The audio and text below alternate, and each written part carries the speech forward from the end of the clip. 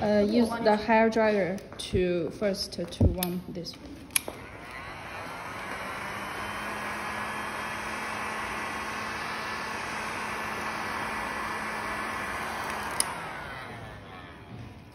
Use the blade. Yes.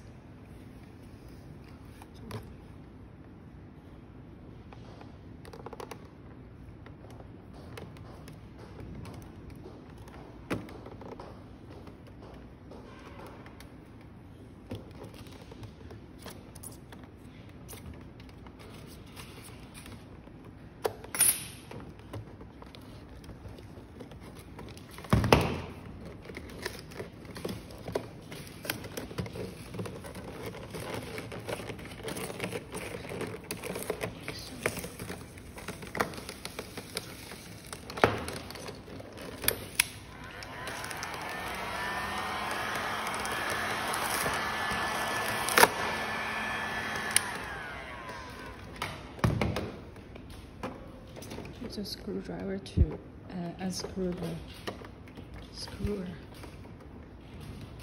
All of them.